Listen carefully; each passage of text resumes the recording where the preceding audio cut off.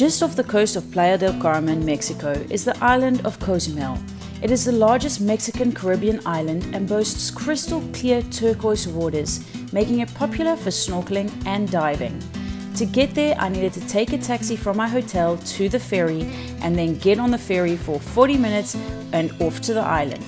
After taking it easy on my first day on the island, I was now ready to explore the island by scooter.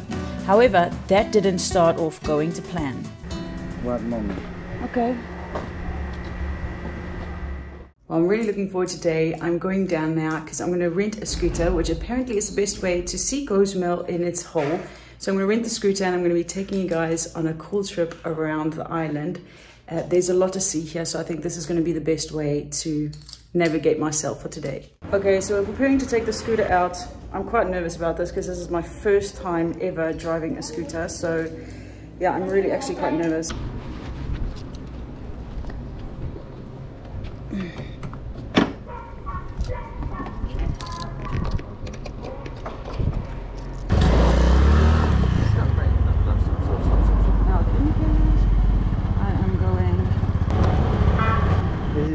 Is uh, mandatory. Yes, please stop. But I stopped and then I turned right to the left. The, your camera. Your driver license, please. Yeah? So literally came down my street, tried to stop, but because it's the first time on the scooter, I wasn't doing a really good job of it. And I got pulled over by the police. Now, first of all, they asked me to pay 80 US dollars to get my uh, international driver's license back. I eventually ended up paying a thousand pesos. So it wasn't a great start to my scooter trip, but now I've gotten into contact with Adam, who's another creator, and I'm going to be meeting him up with him up at the beach, and then we're going to be doing the west southwest coast up to the east coast. So I'm excited about seeing some beaches.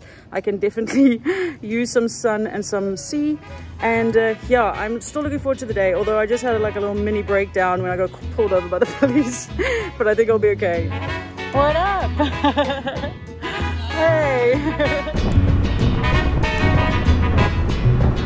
Yeah, let's head down to Las Uvas. Just a little further. I've heard this is a really good view. okay, sounds good. Yeah, I think uh, four minutes by motorbike. And Nice.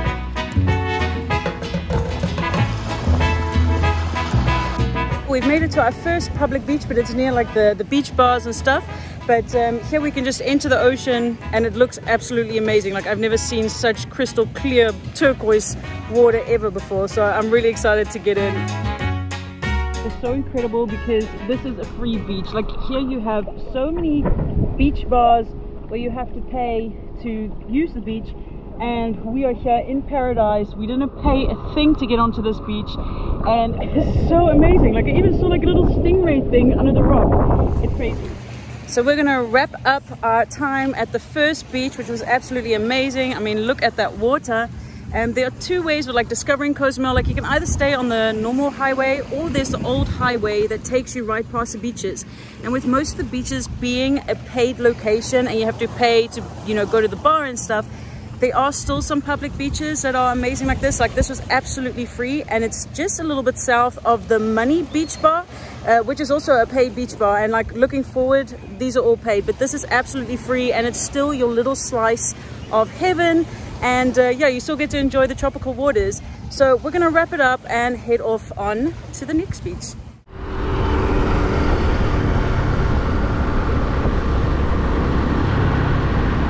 So we have made it to Playa Palancar, which is a paid beach place where you can come and eat and enjoy the beach. And basically how it works is that you buy your consumptions and it has a total amount of 10 US dollars and then you get to use the beach as well. And since we were really hungry, it was a great way to just have a quick stop, have something to eat and to drink and enjoy the beach.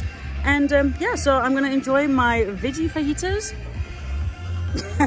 I'm a chicken fajita. chicken fajitas. so when we got our food, the guy said that he gave us a chili sauce of which one drop would be enough because it's really spicy. So um, yeah, I think I put like three drops on it. We're gonna try it.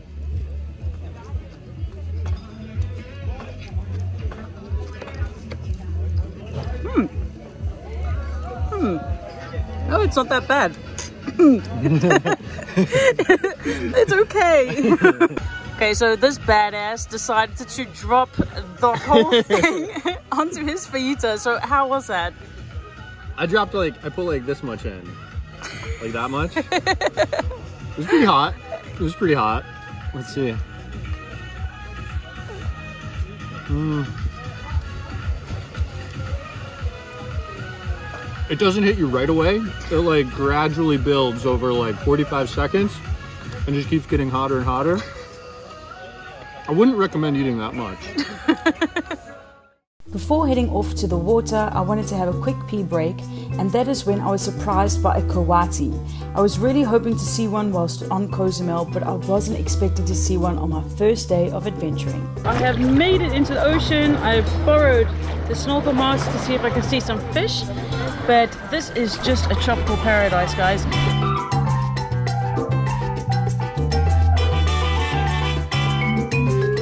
Okay, so we've got our scooters again, and now we're going to go to the east coast. It is the more rougher and rocky side of the island, um, so it's probably going to be a bit different than what we've been experiencing so far.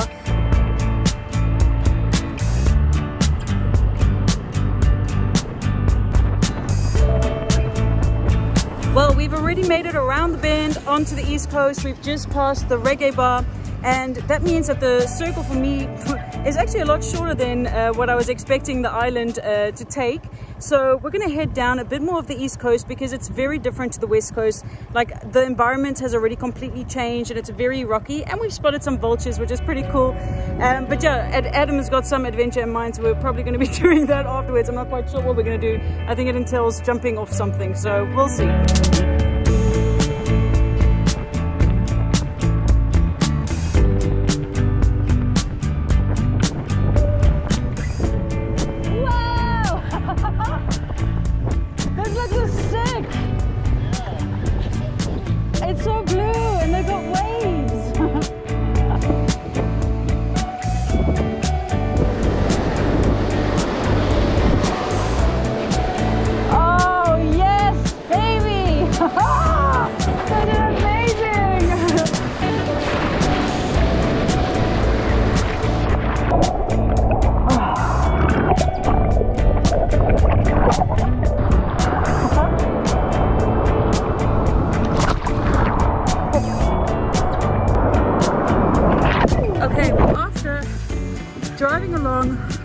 Coast on the east.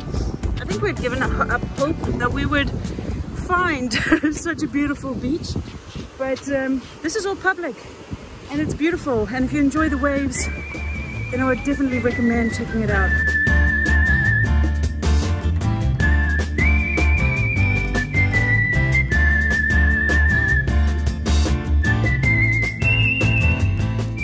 I still mentioned that Adam had some sort of adventure in mind, but I have no idea where we are. Like, it looks like we're at the marina. There's supposed to be like a bridge to jump off of somewhere around here, I guess.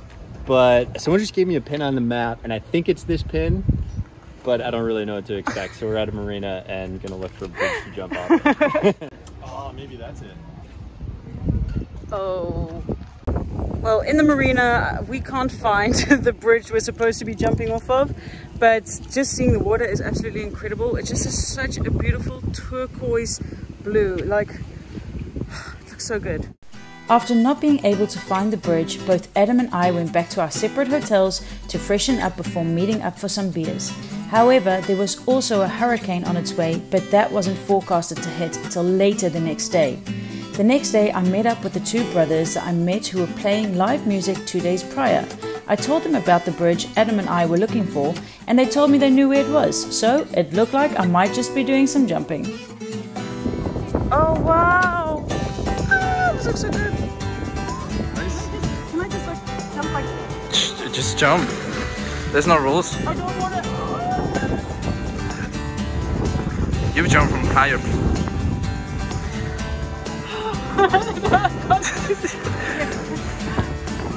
yeah.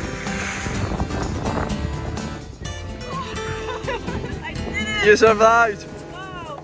Yeah, I definitely pushed myself out of the comfort zone. That was scary, man. so yesterday when the hurricane was announced, I was not expecting it to be such good weather. So it's been nice to be able to still go to the beach and do the jump today. Uh, we're gonna have some fresh coconuts and then, yeah, be prepared for whatever tropical storm is on the way. Ah, cuando el atardecer ya se oculta, eh, ya, me, ya me retiro igual. El foco tiene que ver mucho, sí. Tiene un buen... Yeah. One, two, three. I need to do four. Okay. What?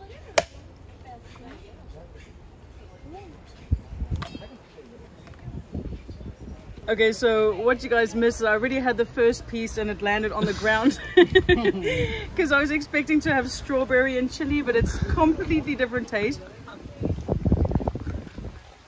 Okay, now that I'm prepared for it, like it tastes really nice, but it's not sweet like strawberry. So after two days of adventuring, I am back safe in my hotel. I think the last two days have been absolutely incredible, but there is a hurricane on its way.